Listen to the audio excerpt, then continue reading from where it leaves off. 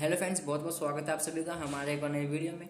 तो फ्रेंड्स हमारे आज के इस नई वीडियो में हम बात करने वाले हैं how to turn off camera flash light in Tecno Spark mobile तो फ्रेंड्स आप अपने टेक्नोस्पार्क मोबाइल के अंदर कैमरा फ्लैश लाइट को किस तरीके से टर्न ऑफ़ कर सकते हैं तो आज के इस वीडियो में हम जानेंगे।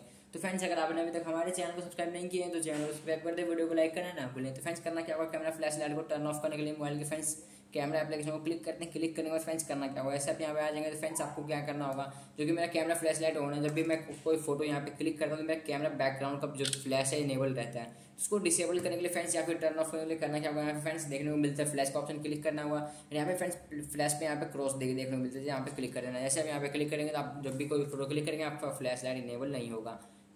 देखते फ्रेंड्स मेरा फ्लैश लाइट इनेबल नहीं हुआ, यहाँ पे बिना फ्लैश लाइट और यहाँ पे फ्लैश लाइट की फ़ोटो देखने को मिलती है। तो फ्रेंड्स इस कैमरा फ्लैश लाइट को ऑफ़ कर पाएँगे। अगर आपको हमारी वीडियो पसंद आए तो वीडियो को लाइक कर दे चैनल को ज़रूर सब्सक्राइब कर दे। मैं मिलता हूँ नेक्स्ट वीडियो में, तब तक के लिए बाय